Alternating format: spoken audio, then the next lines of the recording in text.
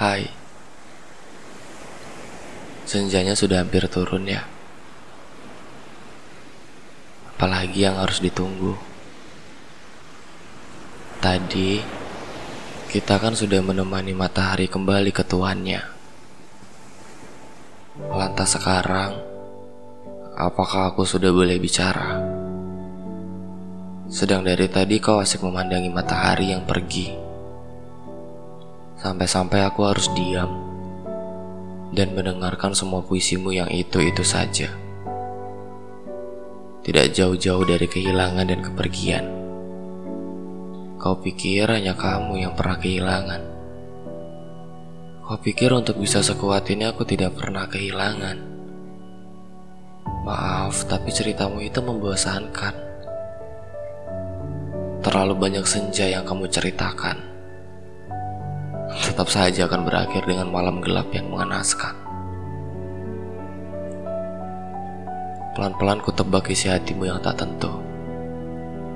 Setidaknya agar aku tahu apakah ini sudah waktunya untuk pergi atau terus melaju.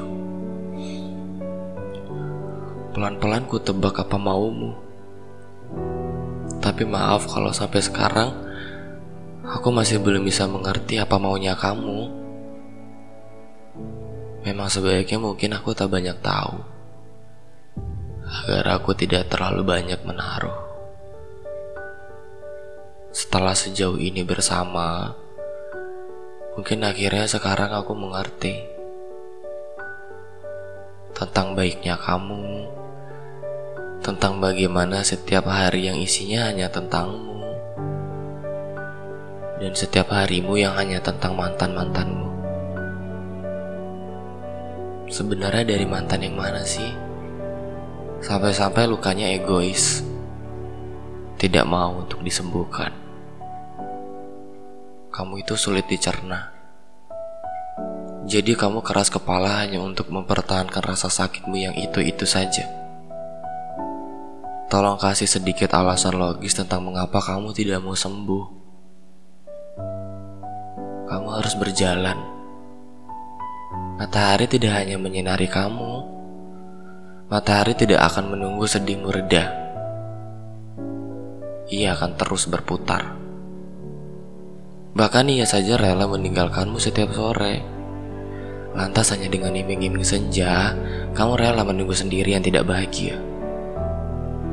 Kasihan kamunya. Kamu itu baik Sayang kalau baikmu tidak dijaga. Udah sedihnya. Aku cuma mau bilang, pada akhirnya aku hanya butuh kamu.